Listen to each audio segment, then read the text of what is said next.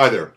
This module on the governor of Texas focuses on how informal and formal powers are granted to the governor and how governors use those powers differently.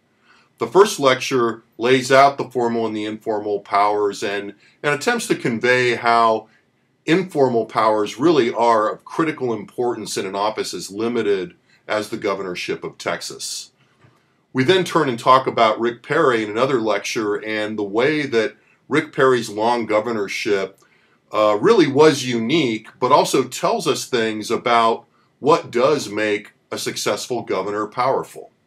Uh, in the from the insider videos that follow, you'll see uh, clips from interviews with Barry McBee, with Evan Smith, and with Senator Kirk Watson from Austin, all of whom talk about different aspects of the powers of the governor's office, and in most cases talk about their experiences with specific governors.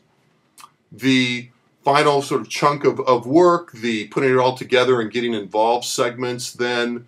move you very much into the present. There are articles that discuss the current governor and lieutenant governor, Greg Abbott and uh, Dan Patrick,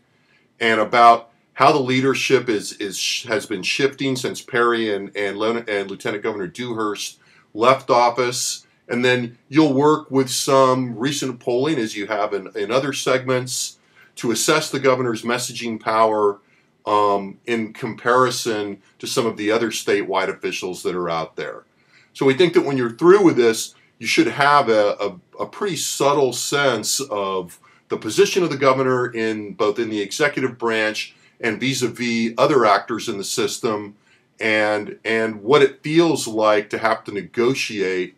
um, the particular challenges of being the governor in a state that defines the governorship the way the Texas Constitution does. So enjoy and go ahead and get started.